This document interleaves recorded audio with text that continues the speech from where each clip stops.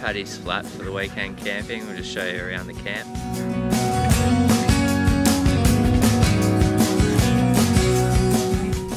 Down at the Clarence River here.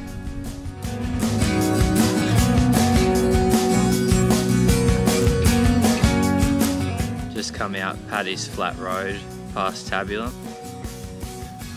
Come to the Paddy's Flat Bridge over the Clarence River. We've turned right up the up the river and followed it a few kilometres and yeah, ended up on this spot here.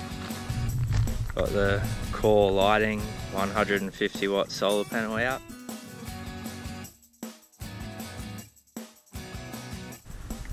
Battery's nearly full.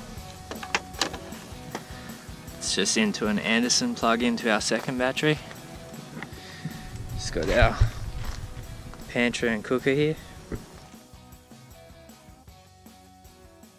Got one of the Doble light poles set up in the corner. Charging. Set up a little windbreak wall here on the Foxwing just to add a bit of extra shade. Rear drawers and drop slide. It's a 60 litre Engel fridge.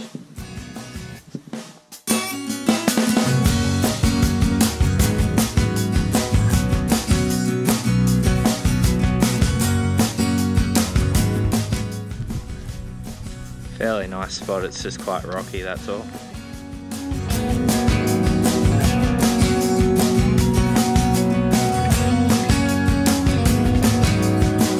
We ended up coming to Paddy's Flat.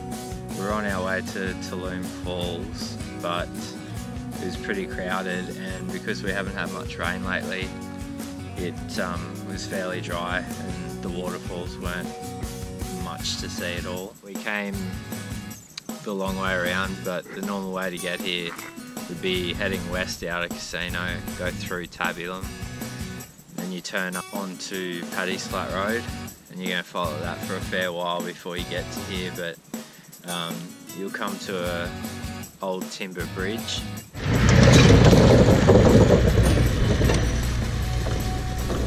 Basically when we got to that bridge there's a few tracks that lead off either side of it to different campsites but we took the first right before the bridge and just followed the river along. Before the bridge you'll come across the World War II tank traps on the side.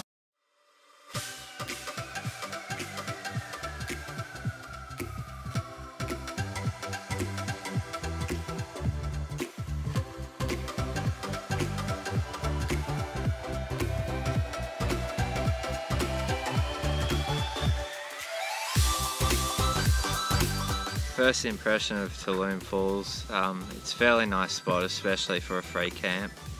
Um, it's just got basic like drop toilets and stuff like that.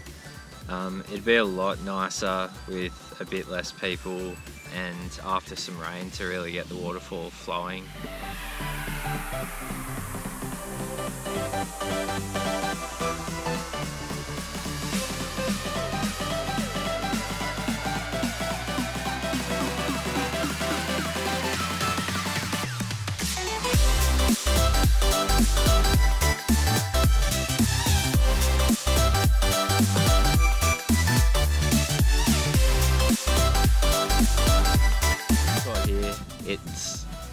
Pretty good for a free camp.